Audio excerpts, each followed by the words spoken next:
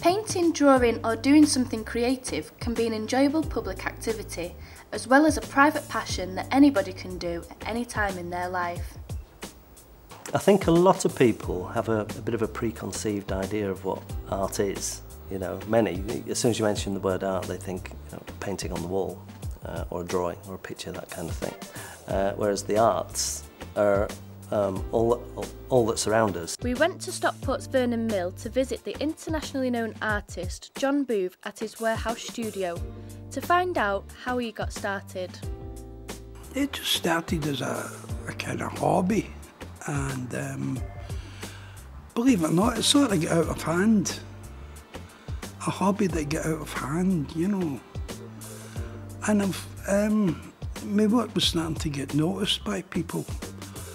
Um, I had exhibitions at the, the Blythe Gallery in Manchester. I was doing, taking stuff down to London. I was shown at the Fermanagh Fermanagh Gallery.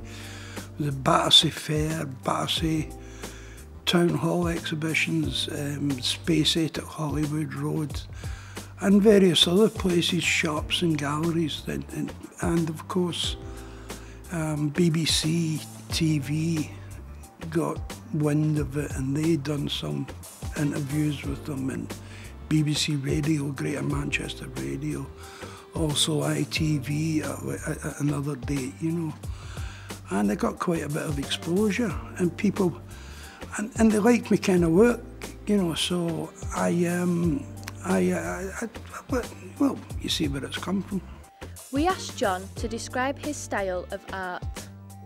Well, I'd like to think it's unique what I do, and my style. I, I suppose I've got a style of my own. If I see something, if I see a colour I like in a combination, then I'll apply it to a canvas and I'll throw some of the black stuff on to see if it matches. John takes his inspiration from everyday life. I was at a play uh, in, in, um, in a, ch a, children's play in, in, in Stockport and uh, one of the schools, St Anne's I think it was. And um, there was a guy sat next to me. This, this guy had a, a coloured, big coloured tie. It was fantastic, this tie. And I couldn't stop looking at it, you know.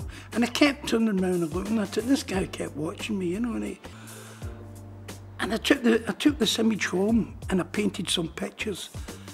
And it was ended up one of the best pictures I ever made. So, is John the first artist to use bitumen? Uh, although I'm the first man to use hot bitumen, I believe people like Turner and a few others use bitumen but they used it as a cold solution, as in a wash.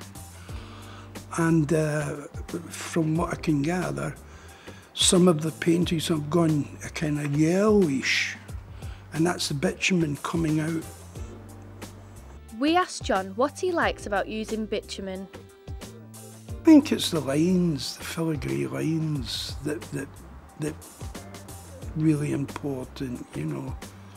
I think because of the because of the nature of the stuff going on, you've got to be quick. And that's speed of hand. Speed of hand is what you get these lovely, beautiful, quick movements. Uh, and I think that's what what makes the picture. What's John's advice to budding artists? It doesn't cost nothing. You may as well have a crack at it. God love us, you might enjoy it.